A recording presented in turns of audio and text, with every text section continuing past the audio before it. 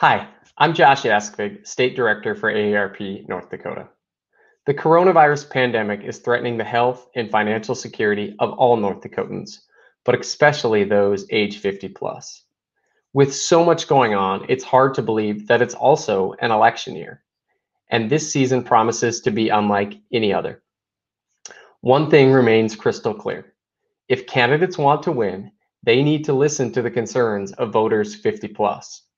That means candidates must explain how they'll protect Social Security and Medicare for current and future generations, and how they'll lower prescription drug prices.